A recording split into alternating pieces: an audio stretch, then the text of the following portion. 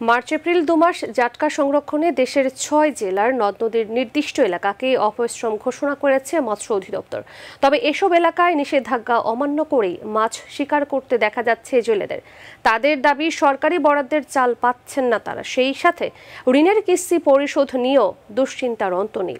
আর মৎস্য কর্মকর্তারা বলছেন, বরাদ্দ কম, তাই সব জেলেকেই চাল দেয়া সম্ভব হচ্ছে না। প্রতিনিধি মোহাম্মদ আরিফ হোসেন লিটন ও এস এন রেজা জিতুর তথ্যচিত্রে জানাচ্ছেন নূর মোহাম্মদ।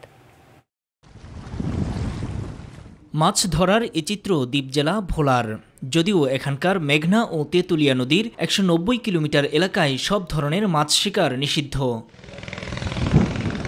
চলছে বিক্রিও, যদিও তা অনেকটা লুকিয়েই। নিষিদ্ধ সময়ে অনেকেই নৌকা ও জাল তীরে উঠিয়ে রেখেছেন তবে এর বিপরীত চিত্রও কম নয়। মাসে মাসে চাউল আসে চাউল আমরা পাই না।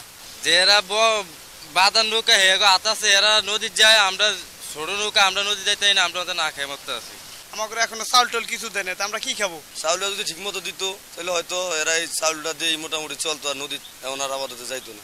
ঋণের কিস্তি পরিশোধের দুশ্চিন্তাও একটা বড় অংশের। নিষিদ্ধ সময়ে তাই কিস্তি বন্ধ রাখার দাবি তাদের। কারণ আমরা সমিতি নিয়ে খুবই কষ্টে আছি। এখন আমরা কি এরকম আজ আষ্টদিন যাইতে আছে কোনো কিছুই আমরা পাই না। সমিতি যদি বন্ধ করে দিত আমরা একদিনও গাঙে দিতাম না কয়দিন পরে গাঙে গেছি এই আজ অভিযান দেওয়ার পর আজ গেছি কোন আর সরকারি নিষেধাজ্ঞা অমান্যকারীদের বিরুদ্ধে তৎপর স্থানীয় প্রশাসন। করা হচ্ছে জেল জরিমানাও। একশো আটত্রিশ জন জেলেকে আমরা আটক করেছি যার মধ্যে ছিয়ানব্বই জন জেলেকে বিভিন্ন মেয়াদে সাজা দেওয়া হয়েছে এবং বিয়াল্লিশ জন জেলেকে দুই লাখ ছয় হাজার টাকা জরিমানা করা হয়েছে।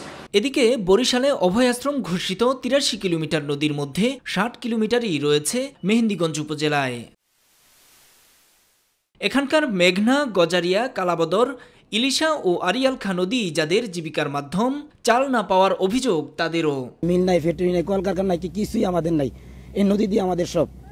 এইতে আমার আয় ভাই এইতে আমাদের সব। আমরা চাউলও পাই না টাকাও পাই না কার্ডও পাই না। কার থাকলে হবে কি? এই তো নিয়ে আটকাইছে। হওয়ায় দেয় না কার্ডও দেয় না চাউলও দেয় না। স্থানীয় মৎস্য কর্মকর্তা জানালেন বরাদ্দ না থাকায় প্রায় এগারো হাজার জেলেকে দেয়া যাচ্ছে না সরকারি চাল। এখানে মোট জেলে আছে ছাব্বিশ হাজার দুইশো উনআশি জন। এদের বিপক্ষে অনুকূলে বরাদ্দ আসছে পনেরো হাজার দুইশো পঞ্চাশ জনের। যে পরিমাণ বরাদ্দ আসছে, আমাদের সেই পরিমাণেই চাল দিতে হবে। এর বাহিরে চাল দেওয়ার কোনো অপশন নেই। Noor Mohammad, my TV, news desk.